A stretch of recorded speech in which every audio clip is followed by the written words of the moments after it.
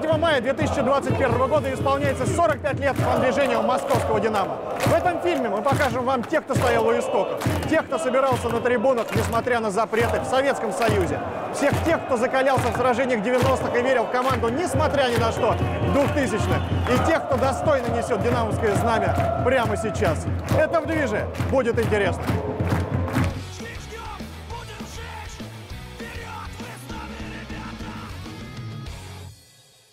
Ну, мы пытались эту дату найти. Вот ребята вспомнили, что, ну, что именно вот на Динамо Минск они впервые собрались, так как говорится, в кучу и начали там, а, ну, поддерживать команду совместно с кричалками, там, с, там, с флагами, с, с галстуками. Тогда они называли «ходишь в кучу, не ходишь в кучу», «хожу в кучу, не хожу в кучу». Вот, Интересно. Да, да, да. «Спартак» существовал первая куча, торсида, как назовем, организационное движение, где болельщики собирались одной команды на одной трибуне. Но с учетом того, что наши некоторые клубы сейчас рассказывают нам сказки, что они были вторыми в Москве, в России и так далее, это неправда. Вторыми стали динамовцы. Почему мы стали? Потому что те же спартакские болельщики, которые уже были, они приходили к нам и рассказывали, типа, все, как надо делать, как на Западе. И вот э, были такие у Спартака Заплаткин, там, Баркевич, это сих пор Елкин.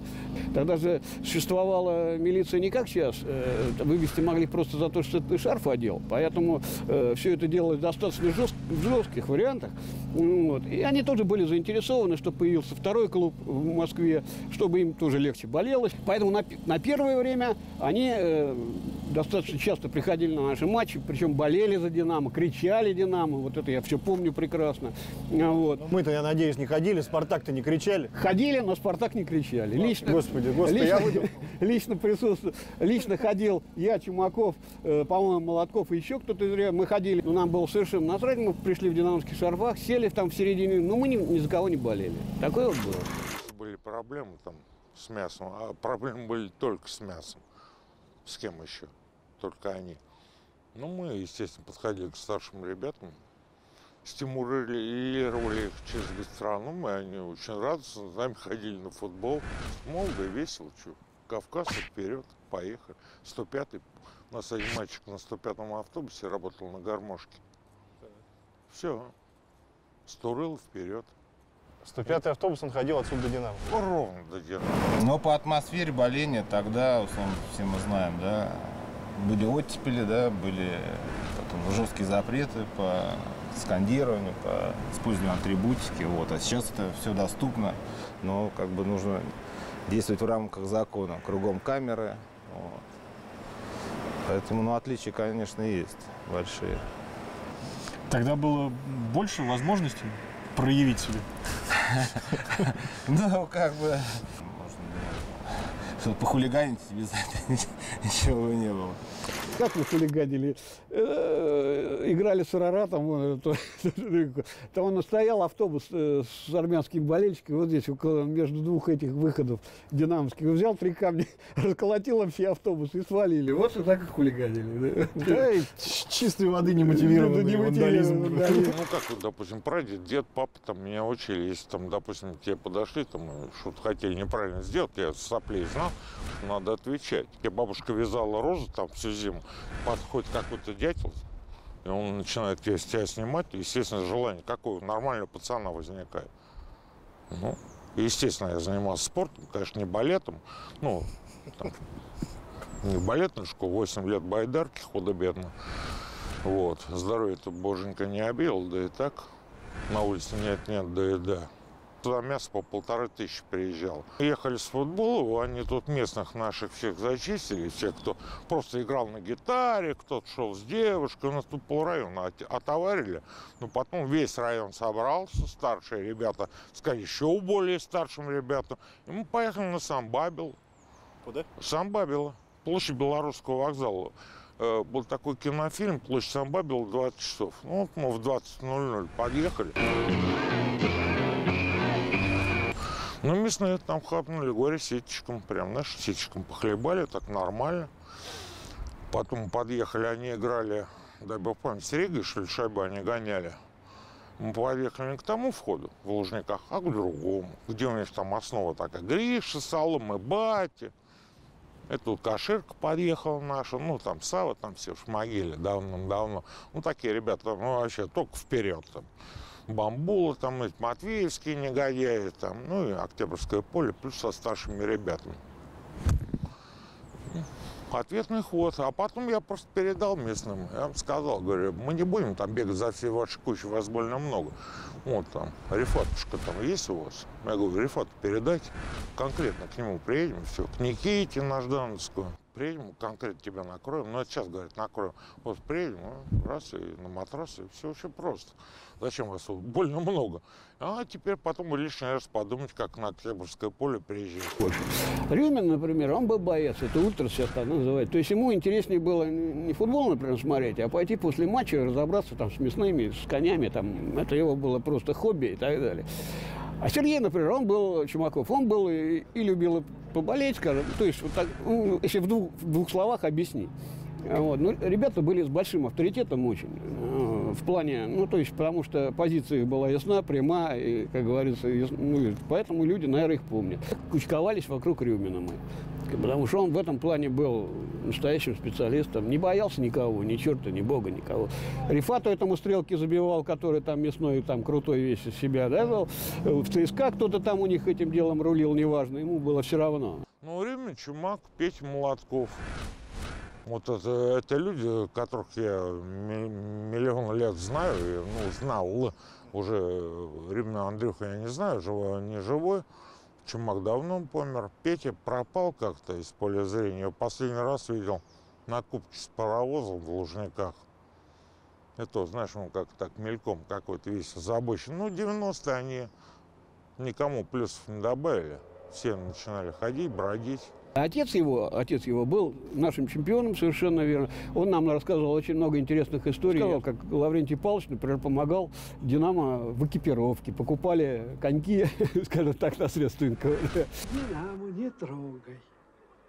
Я тебя очень прошу». Более того, они сидели э, как-то, он, ну, Берия пригласил команду целиком там к себе на Лубянку, не знали, обсуждали они там какие вопросы, как Молотков э, отец рассказывал. Вот. А потом в результате ему боится же делать э, замечания. А время подходит, игра начиналась тут на «Динамо». Но они сидят, ерзают там, как быть-то? Ну, кто-то там, Лаврентий Павлович, нам не опоздаем, не опоздаем, снимает руку, зеленый свет, они сажают, садятся в автобус от Лубянки до «Динамо», сколько тут доехать, доезжает и все там любимое занятие. Говорю, что толпа на толпу, сейчас же упакуют всех. Вот, давайте вы бойцы, а мы бойцы. У нас был Федя Укс, который ударом кулака телефонный аппарат ломал. Ну, без вариантов вообще. Так. Ну, выйдет там какой-нибудь чучело, там, Федя, там, ну, шеи нет, там, голова, так, такой кулак. Бум, все, замена кузова. Да, поехали в Питер.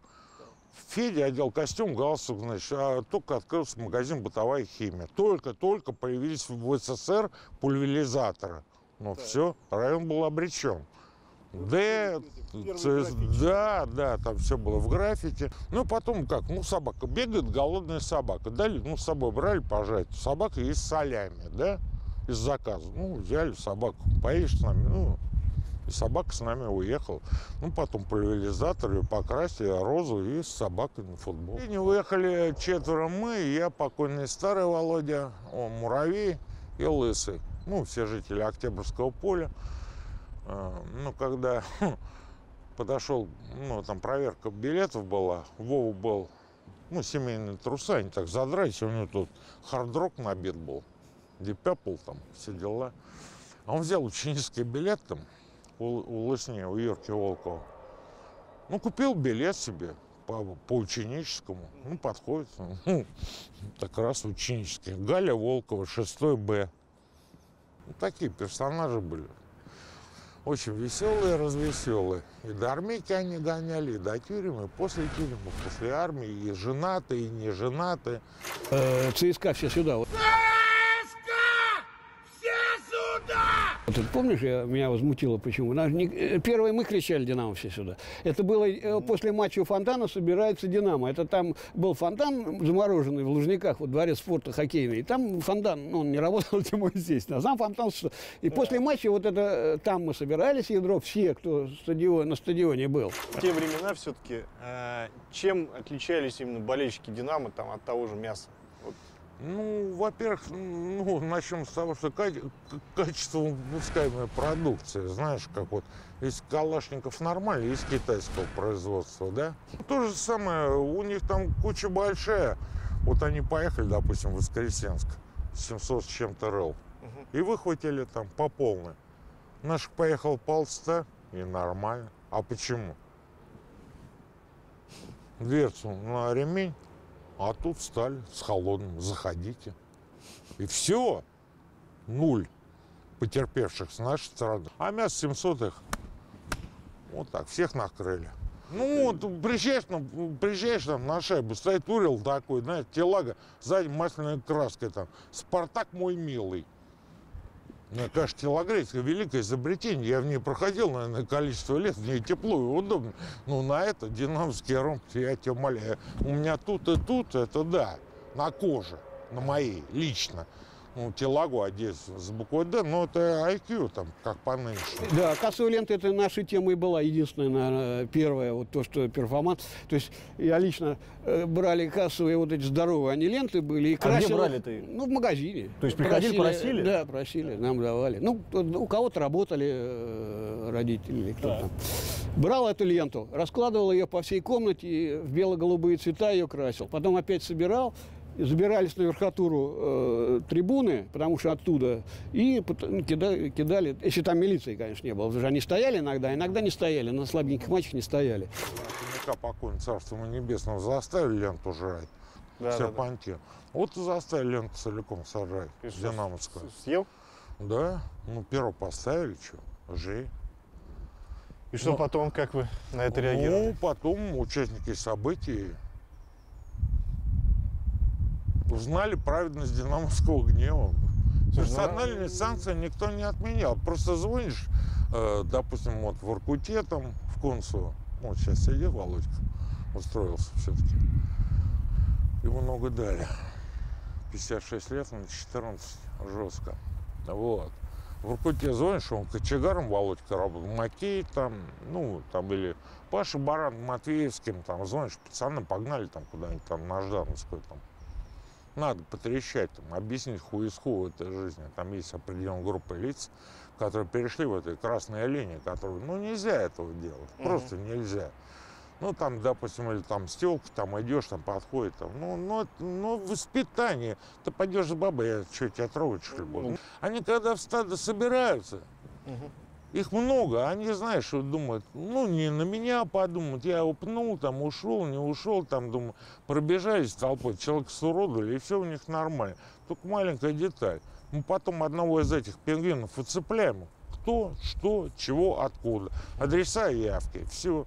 И колется он там до самого седалищного креста. Тебя называют все-таки каким-то лидером фан- тогда фан-движения «Динамо». Ты знаешь, такого, чтобы вот я, там, вот, там, ББ, там. Ну, просто э, негатив от мяса замыкал на себя. Ну, кто будет Боб замыкать? Их там двое, полосинки белого с ромахой. Нет, проще было.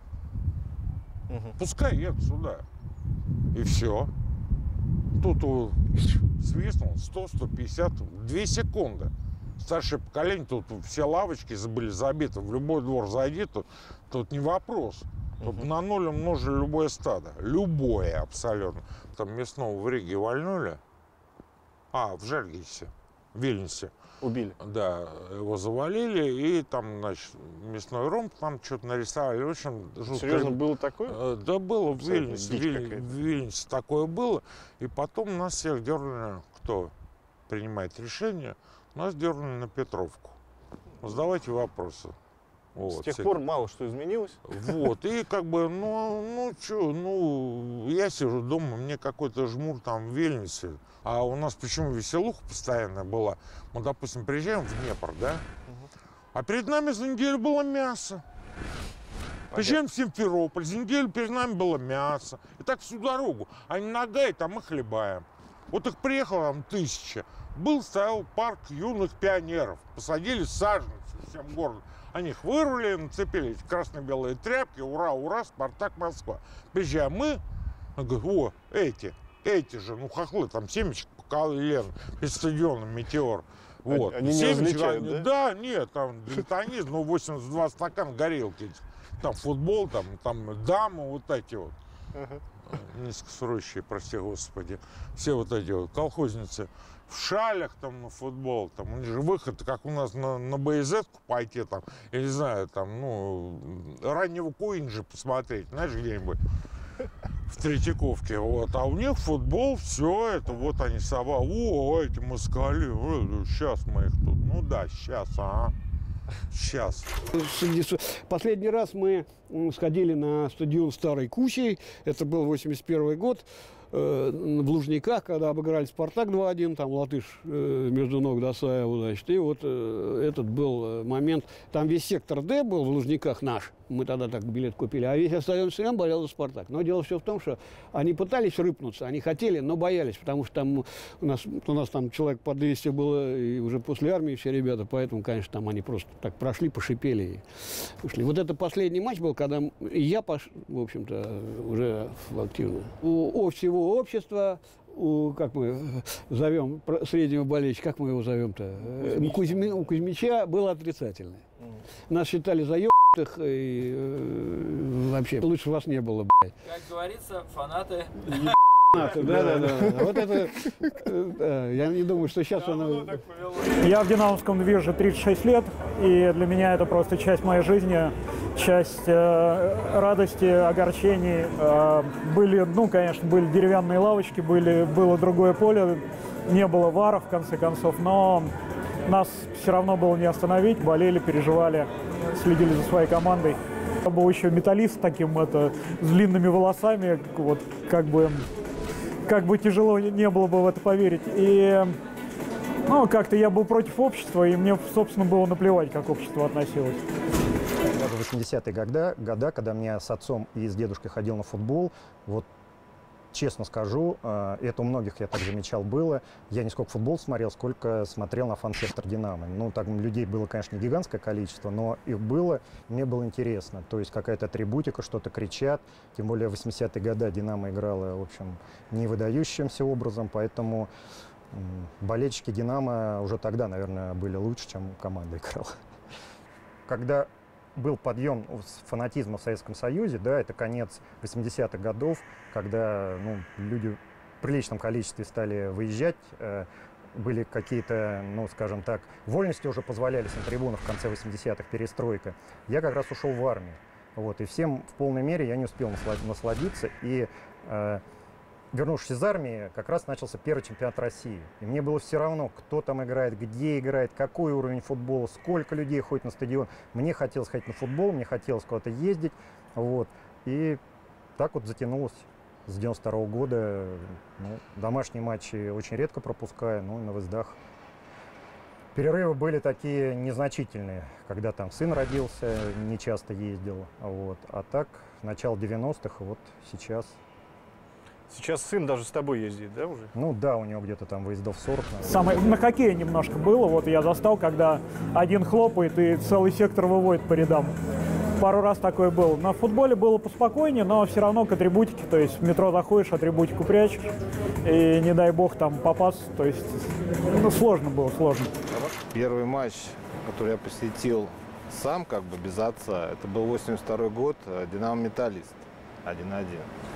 Вот. А первый выезд у меня был в 85 году на Кубок сезона в Питер. Когда это были времена там нашей юности, да, там 15-20 лет были ребята, даже там 13-20 основы, и часть, в которой после армии. Ну, тогда это как была романтика такая вообще. Вот. И выезда были там такие, денег особо не было, все ездили по вписке, там без билетов, основная часть. То есть, а сейчас там выезда, допустим, это так уже как бы как поездка. Дело вот состояние души должно быть такое, вот поехать на выезд. Раньше это был как вот действительно экстрим такой. Чужой город, ну, сейчас вообще другие страны. Ну, вообще там, ну, Хохлам только шесть выездов было тихо, спокойно, там, в Тбилиси полететь, в Ереван, там, да, на поездах, отнюдь не экспрессах, там, самые дешевые, самые простые вагоны, в которых возили курей, свиней, там, не знаю, там всякое разное. Люди пили самогон, женились, разводились, там можно было, я не знаю, что там. Но это было весело, интересно, где-нибудь выйти в какой-нибудь Хацепетовский без копейки денег. Ну и дальше как повезет. Ну, в общем, весело было. А сейчас что? Тихо, спокойно собрали, сели, погнали в самолет. Приехали, оторались там, выпили по два пива. Ой, мы были на выезде. Если те выезды вспоминать, там караул, маманя с батей. Ну, это не для экранов, не для больших, не для маленьких. Потому что там срок давности не вышел, скажем так. Многие говорят, что для того, чтобы «Динамо» прибавило болельщиков, нужны победы. Абсолютно с этим согласен. Я регулярно начал ходить и ходить один на футбол, когда «Динамо» боролся за чемпионство в 1986 году. Вот. И я стал ходить один, стал не пропускать домашние матчи. После э, невыигрыша чемпионства я, конечно, расстроился там со слезами на глазах, всем доказывал, что да посмотрите, какая команда, да мы сейчас всех порвем, да мы в следующем году чемпионами бу- будем. И вот звучит финальный свисток арбитра. Ничья в матче динамовских команд Москвы и Киева. Я тогда не понимал, что надо все брать здесь и сейчас, ничего никуда не откладывать, не надеяться, что вот у тебя сейчас молодая команда, сейчас все подрастут, сейчас у нас попрет. Есть шанс, надо брать. Надо брать медали, надо брать кубки, надо брать чемпионство. Мы сейчас невзначай сделали рекламу вот лозунгу нынешнему футбольного клуба. Они же говорят, что надо здесь и сейчас вот это. Лозунг хороший, мне кажется, цвета не очень мне понравились, э, салатовые, что-то мне как-то... Боруссия Дорт меня не привлекает, прям глаз режет. Ну, На тот момент западная трибуна, она была в 94-м, 95-м, она была не такая, какая она уже была буквально там через 3-4 года, там, в 98-м и далее. Это был э, ближе, к, ближе к Старому Северу, на верхнем ярусе, а один сектор, и то не полный. Но все друг друга как бы знали. Чуть было время другое, то, то есть буквально до э, изменений в фанатизме глобальных оставалось там 2-3 года. В принципе, тогда-то в начале 90-х, в середине 90-х действительно стало модно быть фанатом, потому что в свое время там не давали быть фанатом, да, там, в полной мере. А тут все разрешено, как бы стало. Естественно, молодежь куда? Пошла на стадион. Вот. фанатизм как субкультура стал очень модным, причем стал настолько модным, что, допустим, мы когда занимались э, производством атрибутики шарфов, я помню, мы с Кабаном приехали в Лужники и увидели своими глазами вживую три контейнера, три контейнера вообще шарфов. Мы не представляем, какие объемы и кто, кто это потребитель и куда это девается. А мать общалась э, с, э, с учительницей с учительницей физики там, с моей школы. И она говорит, что по школе даже директор издал приказ, а, что запретил а, носить шарфы, потому что вся школа была в шарфах тех или иных. И а, значит, на переменах даже драки возникали по клубному принципу. Пошла повальная мода, бомбер, бомбер, тяжелые ботинки и шарф. Основу, конечно, составили там вот мы, ребята из 80-х, потом как бы молодежь подтянулась. Вот. Ну, то есть такая была серьезная организация. В тот момент как бы на фанатизме не было понятия там группировки, какие-то латинские названия, еще что-то. Фанаты делились просто на правых и левых. Причем все было предельно просто. Если ты десятый выезд пробиваешь, то ты становишься там правым фанатом, например. Да? Но как раз в те годы а, начала появляться вот эта тенденция. А, У ЦСКА я первый раз увидел а, в том же 94-м, чуть раньше весной на финале Кубка с Спартаком баннер Red Blue Warriors. И на игре с нами он висел.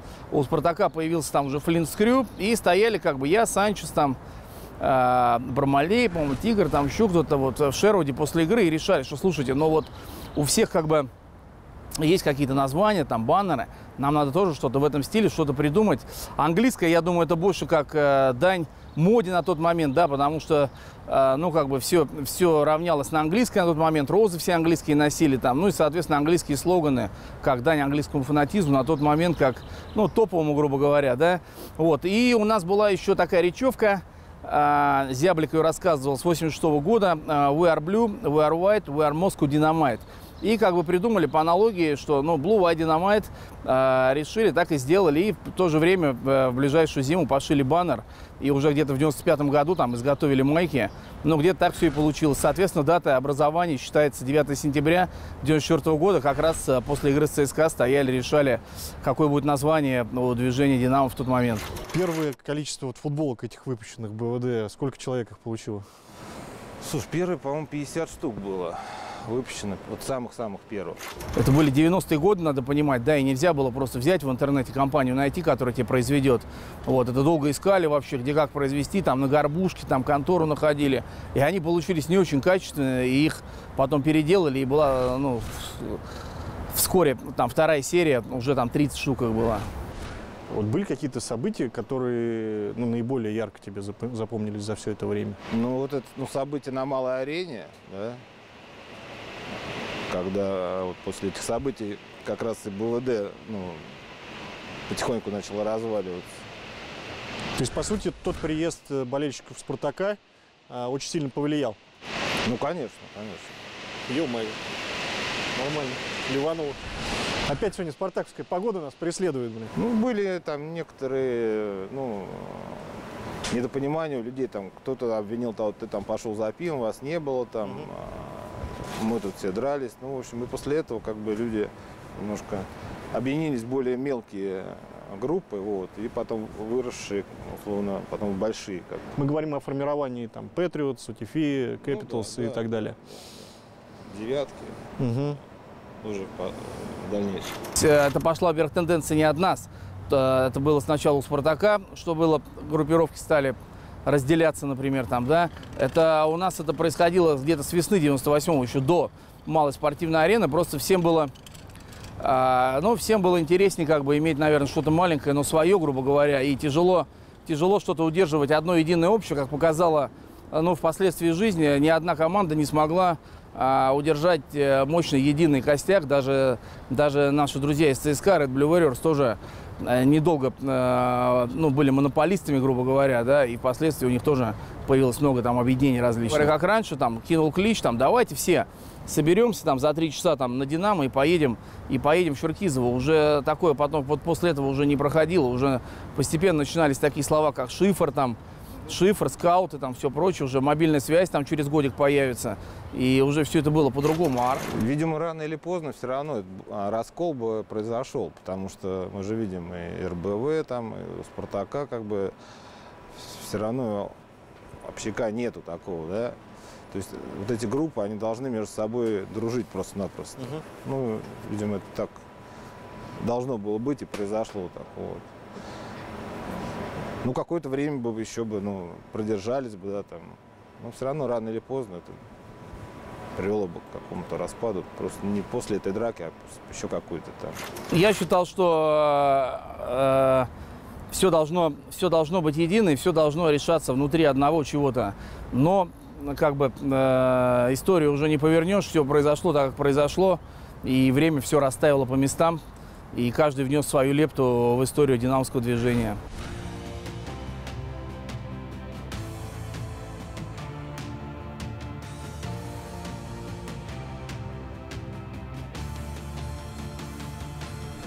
БВД это стало как со, со сравнениями говорить, да, там как фратрия у мяса, вот такое, ну, объединяющая движуха. На всех, на все атрибутики 90-х э, значился логотип, на всех там футболках, шарфах, там несколько вид было баннеров, там, э, э, значит, фанзины, там пати музыкальные, там впоследствии турниры, там э, любые поездки в другие города э, были под эгидой БВД, там сайт был аналогичный, там э, БВД.ру.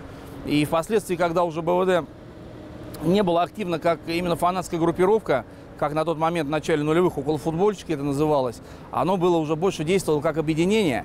Но э, в 2008 э, году образовалась династия, и презентация династии состоялась как раз на последнем матче стадиона «Динамо». То есть оно, грубо говоря, не умерло, а оно, грубо говоря, переродилось, в том числе в династию, например, где уж, которая уже... А в том плане, что у нас э, был очень хороший контакт э, с администрацией клуба. Президент Толстых был, очень любили, хорошие с ним были отношения, да, там в 96 году э, после ответной игры с Ромой, когда итальянский автобус здесь закидали, э, значит, камнями, а там оказались кузьмичи обычно итальянские, а никакие не ультрас, ну кто вот тогда мог это знать вообще и предполагать.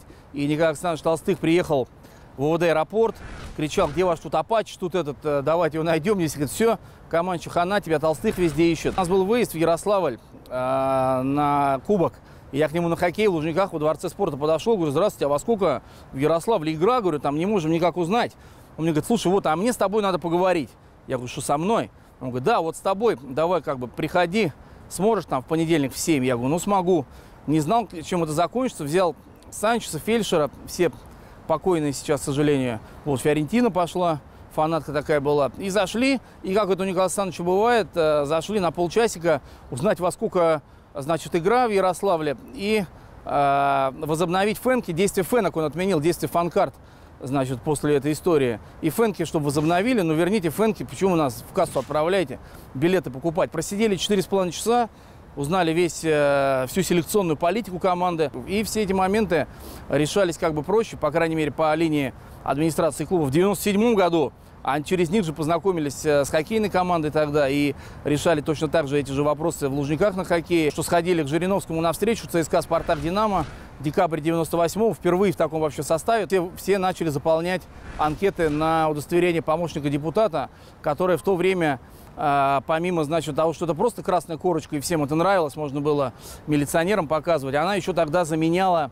а, заменяла, значит, проездной на пригородных поездах, на метро, там во всех э, видах транспорта. Но по закону так было. Помощник депутата имел бесплатный проезд в транспорте и давала, значит, залы, вип-залы на вокзалах, на вокзалах аэропортах. Аэропортами тогда мало пользовались, э, больше вип-залами, всем это понравилось, сделалось. Ну, а я естественно, как бы этот контакт активно развил и э, именно как бы проявлял настойчивость, и что вот эти все вещи происходили, потому что они дружили с тогдашним министром путей сообщения а, Аксененко, и ему звонил прям Владимир Вольфович, ему прям по правительственной связи звонил, алло, там, Николай Емельянович, слушай, у меня тут фанаты едут, мне вот там надо, вот поезд отдельный, скажи своим, там, вот как нам, вот поезд сделал агитационный, там, фанатам надо сделать. Привык уже это все приобрело более организованный характер, и появился в 2002 году официальный клуб болельщиков «Динамо», который уже как бы, э, ну, послужил прологом э, всем последующим историям. Из 45 лет существования фан-движения я хожу на футбол с 99 -го года, это получается, я в движе 22 года, и это для меня э, наслаждение. Из того, что я видел, э, я был маленький, мне было, получается, 9 лет. В 95 году, когда «Динамо» выиграла Кубок России, я видел э, проигранный финал «Зениту», э, финал Кубка. Видел бронзовые медали в 2008 году и видел финал Кубка России в Екатеринбурге. Небогатая история за 22 года. Э, когда я, в принципе, пришел на сектор, ну, как-то у всех было такое обычное отношение, ну, блин, у всех все как у людей, а мы типа Динамо. Вот как бы я, наоборот, я считаю, что надо всегда ставить себе максимальные цели, да, во всех движениях, вообще во всем, во всем, в чем ты принимаешь участие, только максималка, только верхняя планка. Меньше не значит слабее. А, Динамо, соответственно, ну, знаешь, у меня были а, разные периоды в, скажем так, да, ну, около футбольной карьере. И было, когда, да, там на шару, знаешь, типа, э, с шашкой на голову, мы там куда-то летели, ну и зачастую выхватывали э, тумаков.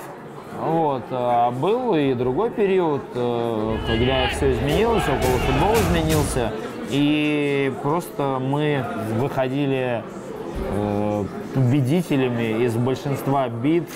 Ну, я тебе скажу честно, что было тяжело, потому что у меня бывало такое, что э, я ездил на какие-то выезда, там, в Дагестан, я помню, когда мы поехали за неделю до профбоя. Вот, или, допустим, когда у меня там уже тоже за небольшой срок, за месяц до турнира серьезного мы уезжали в Екатеринбург на поезде. То есть тоже так себе испытание, когда ты едешь э, в дороге полтора суток, ты не пьешь, как бы, да, вообще даже особо не ешь, то есть полтора суток туда, 12 часов там, полтора суток обратно. Но, знаешь, тогда я, наверное, был помоложе, тогда были другие приоритеты. Я считал, что можно совмещать, и мне кажется, неплохо получалось. Вот. С учетом того, что я поздно пришел в спорт, это было очень осознанно, я очень дорожил этим, что я в спорте, что я могу, я хочу. Ну и также, конечно, дорожил тем, что я нахожусь в динамовском движении, и я понимал, что надо быть тем динамовцем, на которого ориентируются другие. Да.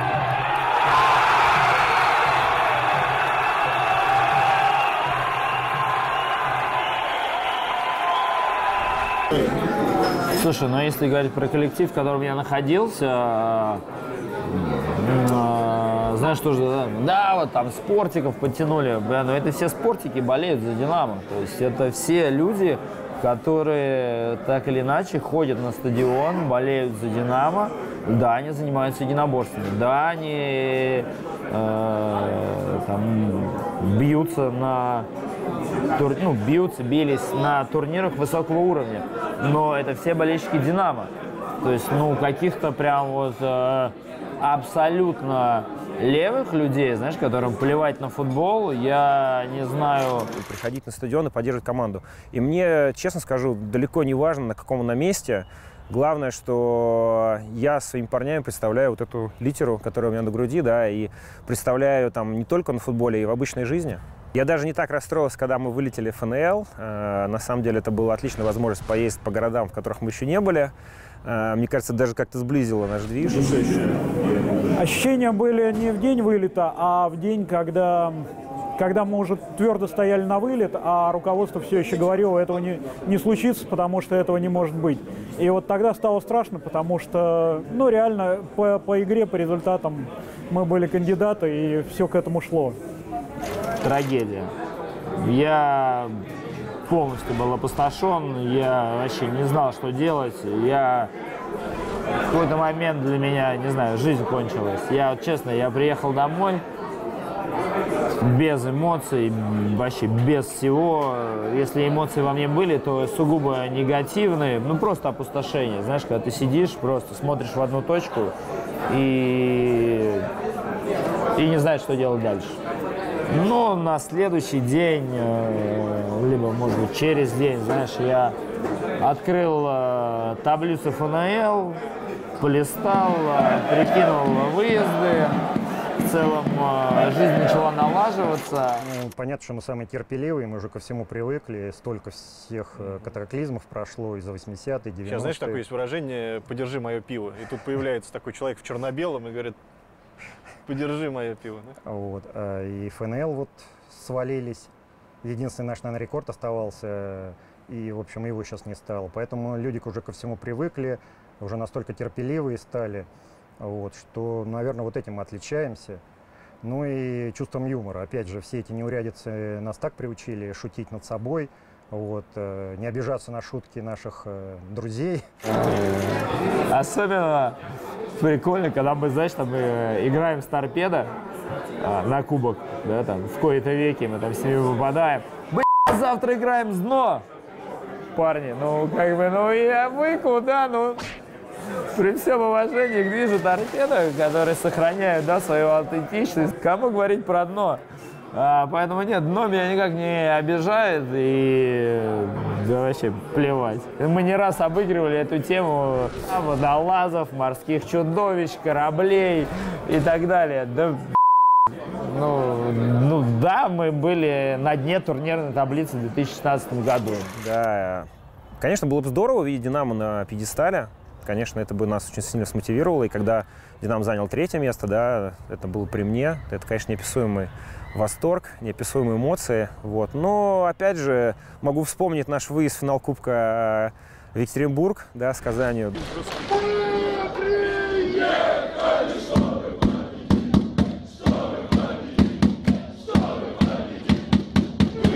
Да, это было, скажем так, когда мы проиграли, у меня текли слезы, но этот выезд стоил этого тоже, поэтому это не обязательно победа.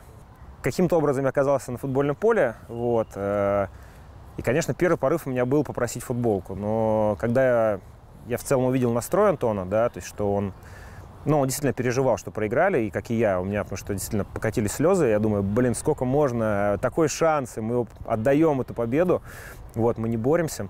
Вот. Ну и, конечно же, я просто, просто приобнял, сказал ему, держись, как бы, ну, все, как бы, мы все равно, как бы, в тебя верим. То есть, действительно, он, ну, скажем так, э, наверное, на, на тот момент он был один из тех игроков, за которых я очень сильно переживал. Как бы, я его понимаю, потому что, когда ты тоже боксируешь в ринге, ты проигрываешь, куча людей подходит и что-то говорит, и ты просто, ну, эмоционально выгоревший, ты просто на автоматом говоришь, там, да, да, еще что-то. А, Но я бы, наверное, сравнил «Динамо» с героиновой зависимостью. Я, слава богу, не знаком. Ну, наверное, это выглядит так.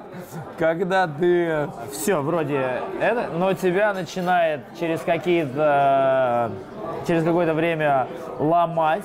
Такой краем глаза, знаешь, там на телефоне раз, в результате глянул. О, выиграли. Такой, что-то туда-сюда, и как бы ноги сами тебя ведут э, на стадион.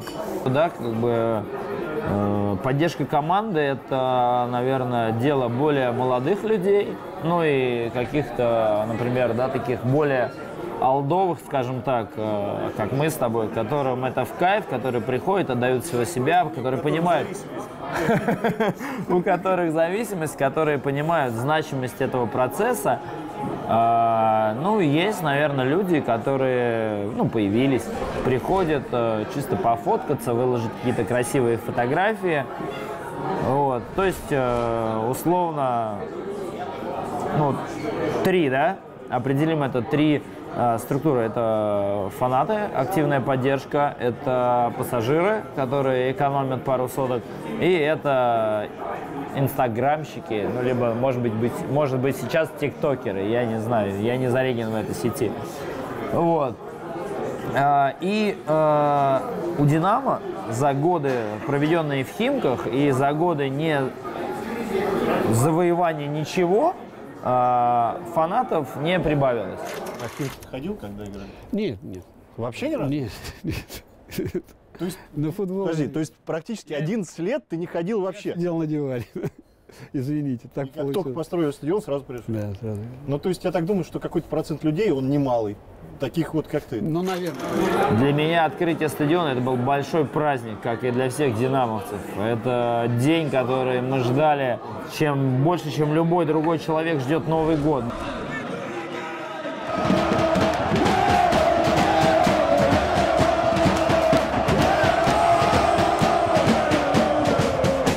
Да, вот, если кто-то есть, э, человек, который смотрит, который ждет Новый год, поверьте, мы ждали этот день гораздо больше, чем вы ждете Новый год. Я, я опять же говорю, почти все стадионы, по- построенные к чемпионату мира, видел, кроме Калининграда и Нижнего Новгорода.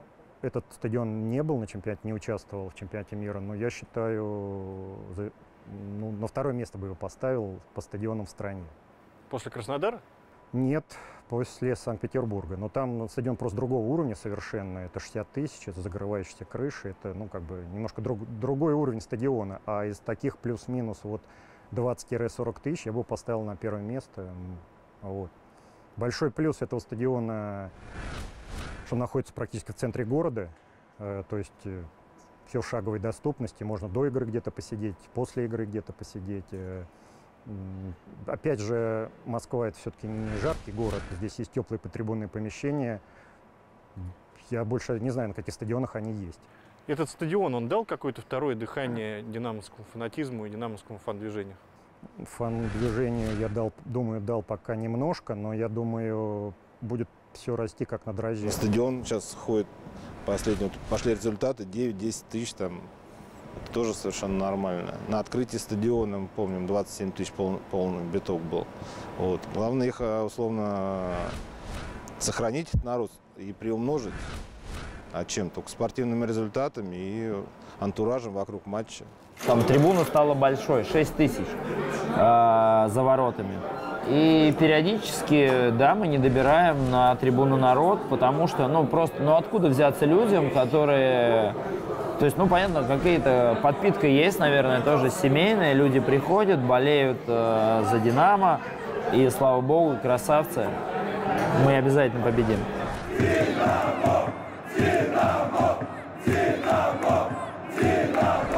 Мы имеем, что имеем, э, в том числе э, молчунов, которые не откликаются на заряды, но мы делаем все, чтобы их э, расшевелить. Тогда, когда я начинал ходить, не было еще заводящих, да, то есть там э, как-то каждый э, проявлял себя по-своему, да, кто что крикнет, то трибуна и подхватит. Вот, и я помню, наверное, знаешь, э, такой один из первых э, своих э, каких-то попыток завести трибуну. Я помню, это Питер, 2002 год на выезде. Динамо вело 2-0, но что-то там подсело, 2-1. Прижали, наша трибуна затихла. И э, все такие типа, «Э, ну что-то, что-то, что-то надо. И я там помню, встал, Динамо! И вот мне было 15 лет. Э, ну да, вот отмечу 10 лет настойки заводящего юбилей. Как у нашего движа. Хей-хей! Стадион «Динамо» был открыт в 1928 году и до появления Лужников был главной ареной страны. До момента своего закрытия на реконструкцию в 2008 году он был притяжением динамовцев в любое время, а не только в дни матчей. Здесь была знаменитая Трипаловка, где любители футбола собирались под турнирной таблицей. Здесь был фанатский бар «Гол». О том, что там происходило, детям можно рассказывать только очень аккуратно. Реконструкция затянулась на целых 11 лет. На это время многие отказались от посещения футбола. Выросло уже целое поколение, которое не бывало на старом стадионе «Динамо». Поэтому открытие новой арены было настоящим праздником. Футбол и хоккей в одном месте. Такого больше нет ни у кого. Трипаловку возродили в новом интерактивном виде. Может и до бара гол дело дойдет. Многим не нравится, что в стадионе появился торговый центр. Ну это же прям такой пример модерн футбола. Но с другой стороны, здесь должен открыться огромный фаншоп, что тоже неплохо что, знаешь, ну, жизнь должна налаживаться. Ну, потому что э, сейчас полностью клубом э, руководит банк. Да? Ну, я сейчас, в данный момент, вижу четкую структуру развития клуба и что мне, что происходит в, внутри клуба и как сейчас управляют клубом, мне нравится. Что было раньше, да, то есть мы встречались с многими руководителями, это... Но сейчас руководство прикладывает огромные усилия да, по созданию команды, которая реально будет в лидерах российского футбола и наконец-то выиграет э, чемпионство. Что ты улыбаешься? Нет, ну просто действительно это так сейчас, я вижу это. Другое дело, что это попыток было много, но сейчас такая очень, такой серьезный заход на самом деле. И очень верю, надеюсь на 23 год. Вот тоже интересный момент. Э, то есть чемпионство мы только на столетие должны получать. Следующий будет э, да точно мы не застанем. Да нет, ну сейчас э, на самом деле команда только строится. Ну, посмотри, сколько пацанов реальных сильных. Да, да. Реально да. там, которые через два года где-то они должны быть в расцвете сил, если там еще нормальную точную селекцию провести, то есть ну, может топ реально команда быть. Ну так а фан-движение, как ты думаешь, будет выглядеть? Ну, на фоне побед, то есть должно быть топ. А одноклассники были три года партнерами футбольного клуба. Первый год а, информационными партнерами, там менялись, значит, баннеры на, в обмен на, на щиты на стадионе. А второй год мы уже посерьезнее э, партнерство создали. И третий год мы уже стали спонсорами на футбольной форме. У нас была надпись на рукаве. Наверное, мы были первым из интернет-ресурсов, кто пошел на такой шаг, что сейчас обиденно, обыденно. Но тогда, я помню, даже руководство очень э, сомневалось, стоит ли нас пускать в спонсоры. Я, когда мы были партнерами, вот какое-то время даже ходил там на вип-ложе, но потом понял, что лучше всего смотреть футбол там, где мои друзья, те, с кем я вырос, те, с кем я там в 12-13 лет ходил на стадион. И для меня это в первую очередь вот повод прийти, с ним пообщаться, поболеть, попереживать за любимый клуб, порадоваться победам, там огорчиться, если что-то идет не так. Старый Запад сейчас тоже за воротами, но чуть выше всех остальных. Ну да, мы что-то решили. По возрасту решили возвыситься над всеми остальными? Нет, знаешь, причем возвыситься, просто там хорошие места, как бы.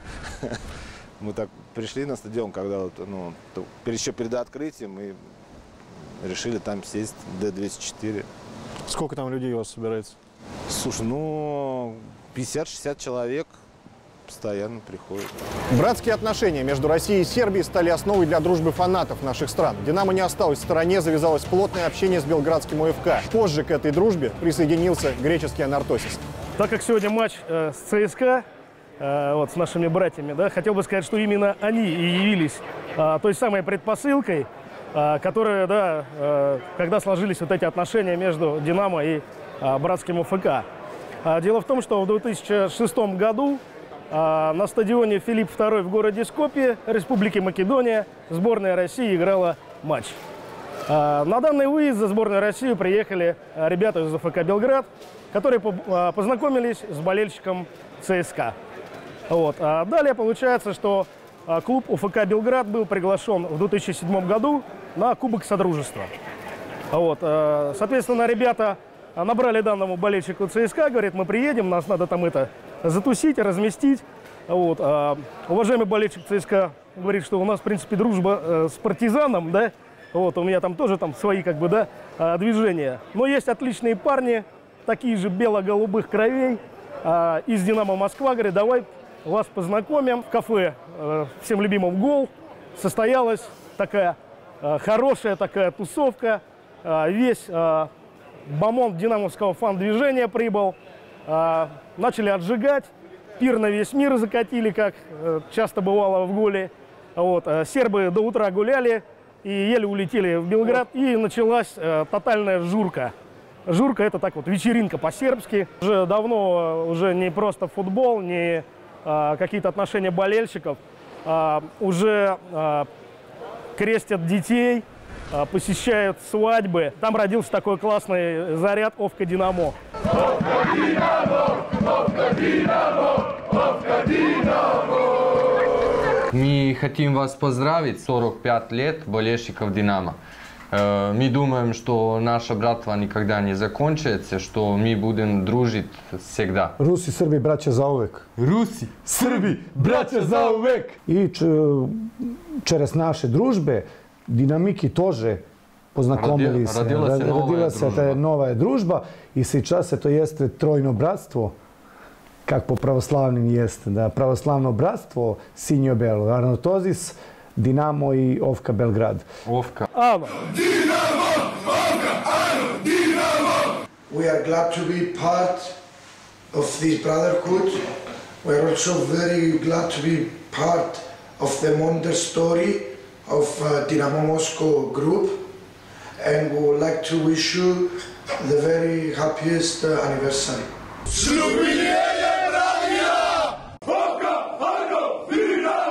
Было решено не использовать английский язык э, в разговорах, да, а общаться именно на сербском и русском языке. Вот. Поэтому я с уверенностью могу сказать и констатировать тот факт, что динамовский движ – это самый сербоязычный движ в стране.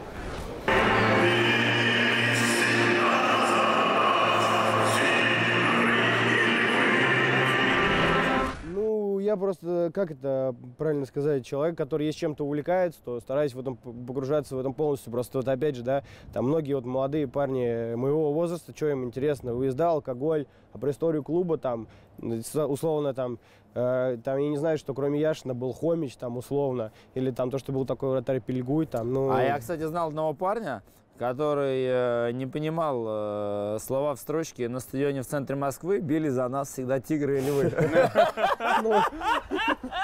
Но потом Да. понял, Был, он так- понял. был такой парень, да. Вот как раз это был один из тех моментов, когда я понял, что... Я не знаю, ну Я давайте, думал, это давайте просто. позвоним этому парню и спросим. Это просто, я думал, аллегория, такая метафора, а потом думаю, кто-то объяснил. Не помню кто, но вот как раз вот такие пробелы, как бы я начал исполнять там в истории и понимать что-то. Ну как можно сообразить в песне, что вот там тигры и львы, я думаю, там ну, реально хищники, там звери. А кто знал-то? звери на арене! Потому что у нас народ друг, ну, трибуне, в принципе, все плюс-минус друг друга знают, где-то видели, там, пересекали, слышали и так далее. То есть я не могу представить себе, как вообще существуют э, движи, в которых много людей. Ну, то есть я не понимаю, как это работает. То есть когда у тебя там 28 контор, э, 58 там ультрас контор и так далее, я не знаю, как это там происходит. И я, мне сложно представить, как вообще всем этим возможно управлять. И понятно, почему там разные мероприятия, так скажем, ситуации, события у них происходят. А как бы у нас все попроще, попонятнее. И, с одной стороны, это плохо, потому что мало людей, от этого сложнее какие-то вещи делать. Но есть какая-то вот эта семейность, духовность, душевность, не знаю, как правильно выразить. Но, в общем, что такое свое близкое и родное. Когда я начинал там заводить, еще строил иллюзии о том, что есть такие же парни, там, как я, в движе молодые, там, ну, большое их ядро, так скажем. Я надеялся их, что мне получится их своим примером сплотить, там, воссоединить, чтобы они все вместе хотя бы вставали где-то рядом с вышкой и шизили, а я просто смотрю условно. Там таких человек 10, на которых это реально действует, а остальные там приходят, он пришел с девушкой какой-то тип, вообще ему вообще до пи***, там, Динамо, еще что-то. Он просто билет дешевый купил, пришел, сидит в телефоне, ты ему орешь, убери телефон, а он тебя не понимает, ну, потому что он просто пришел посмотреть футбол с девушкой. Не хотел бы перебивать Олега, мы просто снимаем э, передачу про величие динамовского движа. Не, ну, И там есть такие люди. ну, к сожалению, да. Ну, есть один момент, от который, честно говоря, меня воротит. Ты знаешь, вот человека нельзя заставить любить родину, да? Любить клуб, орать. Когда сидит человек, говорит, чего вы не орете? Ну, это началось не вчера.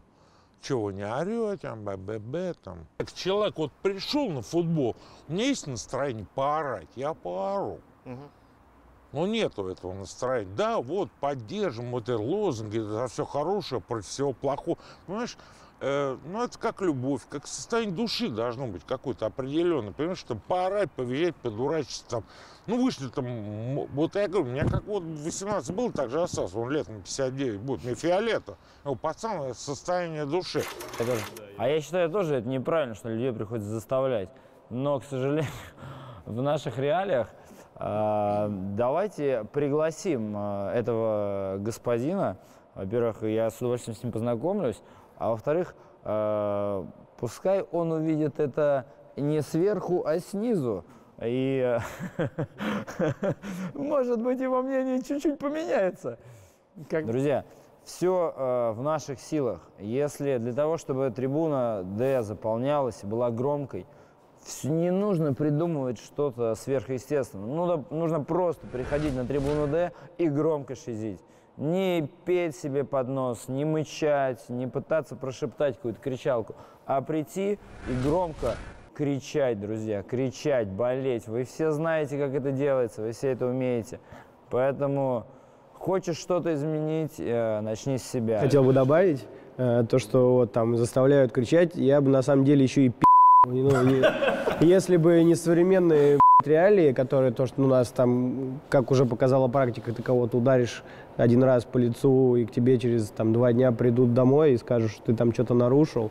Ну, как бы я считаю, что вот если бы можно было немножко людей, которые не шизят, чтобы они понимали, зачем они сюда приходят, все было бы немножко побыстрее и попроще. Думаю, матчи за пять мы бы справились.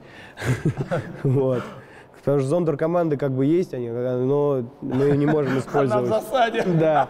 Она уже года три как в засаде сидит и ждет своего часа. жду приказа, командир. Не знаю, я, у меня вот еще есть такое мнение, сейчас я вас перебил, извините, э, что люди вообще в целом, ну, не только, наверное, у нас на трибуне, и не только вообще, может, в фанатском сообществе, все время от кого-то что-то ждут. Ну, так вот, глобально. То есть, э, то есть всем нужен там какой-то крутой контент и прочее, прочее. И вообще люди стали относиться ну, к заводящему, как я это вижу там по комментариям в интернете и так далее, как к человеку, который им, в принципе, ну, там, что-то должен глобально. То есть, э, там пишут, что там... Пришел их развлекать. Да, пришел их как бы развлечь, что, мол, ну, как, как, условно прийти на там, рок-концерт. То есть ты пришел, ты за это заплатил э, деньги, и люди как бы считают, что заводящий это как часть того же шоу, что происходит на поле. А если кто-то так думает и смотрит эту передачу, выкиньте эти мысли с головы. Не думайте так.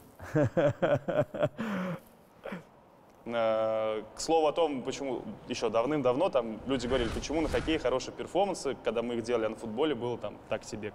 Э, Вот, потому что на хоккее мы тоже, у нас как бы давали возможности рисовать в больших помещениях, и, собственно, от этого очень много зависит, на самом деле. Сейчас у нас как бы все в этом плане good. И благо э, нашлось помещение, которое предоставляет эти условия и позволяет проявлять э, весь, все мастерство парней, вот, которые вкладывают буквально свою душу в каждый перформанс. За чей счет банкет? А, Банкет э, за наш общий счет. Э, Все э, перфы делаются на деньги болельщиков. Прям Мы этих э, принципов и придерживаемся, и все перформансы мы объявляем сбор э, средств, э, за что всем болельщикам «Динамо», которые в этом э, участвуют, большое спасибо. Парни, без вас бы этого не было, и девушки, конечно же, тоже.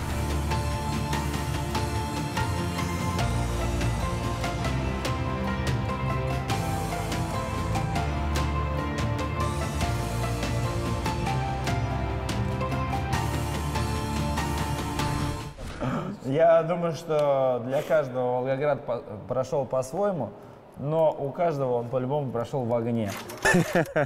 Ну, для меня, конечно, запомнился победа РК «Столица» над РК «Ротор». Вот. э, Ну, а в целом, конечно, я давно не был на выездах.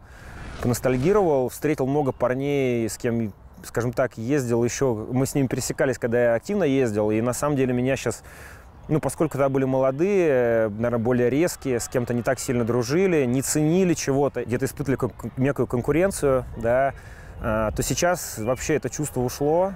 И я действительно практически всех ребят, кого встречаю, ну это прям обняться обязательно, побрататься. Это действительно круто, и круто, что встречаешь парней, кому тогда было по 40 лет, им сейчас уже там под полтинник, они уже с детьми приходят, да, и это реально круто, да, здорово, что мы на таком долгом протяжении лет, в принципе, вот ну, какой-то одной тусовочкой одни и те же личности, они двигаются. Вот это и есть какая-то наша, наверное, ошибка Динамо, что мы пытаемся конкурировать друг с другом, а нам нужно дружить, ведь вместе мы можем больше. А что такое регби для фанатов, э, характеризует наш заряд, заряд э, РК «Столица», да.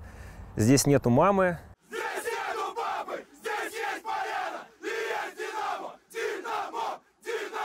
Знаешь, тут как, ну, поездка, это выезд, это вот, ну, знаешь, как, как ну, я не знаю, ну, это состояние души должно быть такое. Определенные лица, которые, ты знаешь, что эти люди себя представляют, что эти, допустим, не побегут. Что знаешь, вот сто процентов, пускай, не важен возраст, весовая категория, знаешь, что этих людей, что эти люди, ну, при, не при каком раскладе чужом э, мегаполисе, там, ну, или в каком колхозе, там, срам, прости господи, вот, они заднего не дадут, только вперед. Ну ты можешь себе представить, что сейчас вот э, берете Старым Западом, собираетесь и едете куда-то на собаках? Блин, сейчас время, наверное, уже нет. Хотя может тряхнуть стариной доход. Поговори. Если вы договоритесь, я еду с вами и снимаю это дело. Подумай над этим. Предложение. Динамо!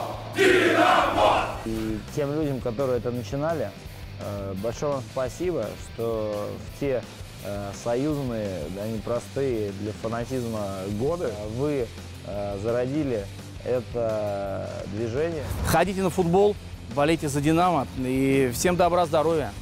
Будьте верны литере «Д». Нашу сказку. Верить, верить, дождаться чемпионства, только чемпионства. Я вам советую, надо ездить, интересно, здорово, хотя это уже не выезда, а поездка. Želimo svima uh, veliko dobro zdravje, uh, dobro navid za vaši uh, ekipi. Не знаю, что более. Парни, нас мало, мы в тельняшках, нам нужно дружить, общаться. Но ничего нас не должно разобщать, только вместе. Это весело, интересно, каждый может сам себе, насколько хватает фантазии. Если, конечно, он вменяемый человек. А Да. может, там все вменяемые. И приходите, несмотря на любые какая препятствия, разница? погодные Да, условия. погода это Любите всё. Динамо, идите на стадион, как говорится. Все, спасибо Да, большое.